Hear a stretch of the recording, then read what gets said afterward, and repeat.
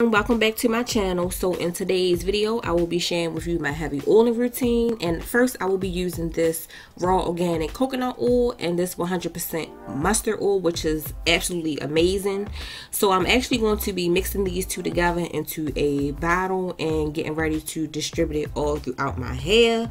So at first I am going to detangle my hair very well, which is dry hair. You can see is really dry. And it needs a little bit of moisture. So I'm going to use some hot water, straight up hot water and spritz it all over my hair. And because my hair is low porosity, I have to actually squeeze the water into my hair.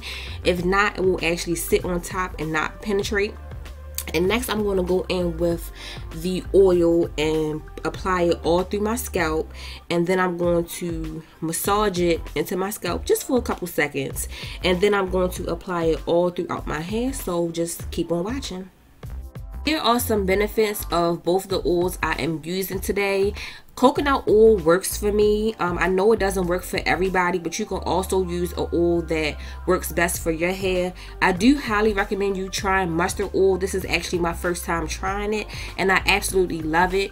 You can pair this with olive oil because mustard oil does have a slight smell to it that you may not like but once you apply a carrier oil with it it works really well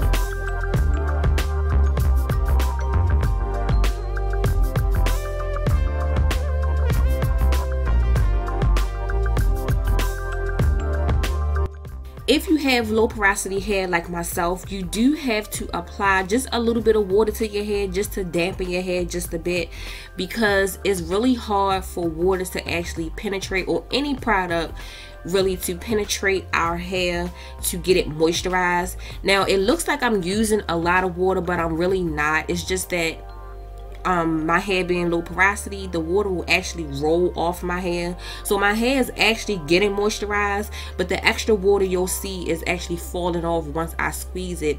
And the squeezing just helps the water get into my hair. And you'll tell and see that once your hair starts to um, curl up and become you know really short and start shrinking up so you'll know when your hair is actually becoming moisturized.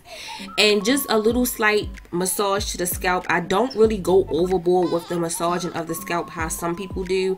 I just like to lightly massage my scalp and just pull the oil through my hair. And I like to focus a lot on the ends. I use a lot of oil on my ends and I actually hold my hair on the ends you'll see a little bit in the video. I hold my hair at the ends just to pull the oil on the ends of my hair because that's where my hair needs it the most. Now you will not break your hair off if you hold your hair very taut at the ends. Just do that and you'll see some good results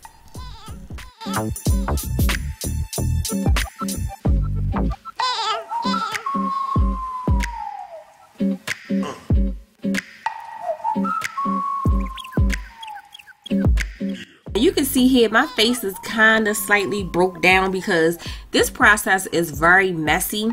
Um, so make sure you have some towels or some old t-shirts on the floor and around your neck just so you can um, keep control of the oil that's actually falling off your hair. Now once I get to the top of my hair I really like to massage my edges because my edges are very um, thin at the moment and um, I just like to massage those really well and apply a lot of oil. And also the front of my hair right here that I'm showing is very dry too. So I pay extra attention to this part of my hair. And as you can see my ends are becoming very relaxed and moisturized. And you can see that it's curling up and everything like that. So just you know focus more on the areas of your hair that need the most TLC now you can see I apply a lot of oil to my hair. I mean it's all everywhere. Seriously. I mean all over my shirt on the floor my face but it's all good because we're trying to get our hair very nourished and moisturized and everything like that. Now also in the middle part of my hair that I'm actually oiling right here is very thin too. Now I did notice um, a few weeks ago that this part of my hair seems to be very thin and the texture of this area is different too. So I'm just gonna apply some oil here and massage it in and everything like that and keep it moving after I finished with the oiling process, I used this plastic cap, which wasn't enough. So I went in with a plastic bag and applied that to my hair. And then I used an old t-shirt and cut it into strips just to apply around the perimeter of my head to help with the oil that will be rolling down my face. And I end up using two of these because I found out quickly that one was not enough. And then I'm going to use my hot head heating cap just to give my hair a little bit of extra benefits which is also good. And I only use this for about 30 minutes. So after all of that is up I'm going to go in with my shampoo and I really like this shampoo. It's been a while since I've used it and this is my favorite hair mask at the moment. Very nice. You should get it. And then I'm going to use this Shea Moisture Leave-In which is very nice on the scalp. And then I'm going to be styling my hair with the Obia Naturals Curl Enhancing Custard which is my favorite so right out of the shower, this is my hair. You can see it is very moisturized, very soft, very light and fluffy.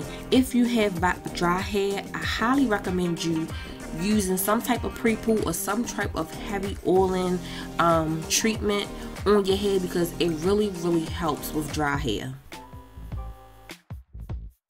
it. That's all i have for this video. If you liked this video and found it informative please leave it a thumbs up. Also comment down below if you like to pre-poo your hair and what you like to use whether it's oils conditioners whatever type of concoction you use to you know get your hair together.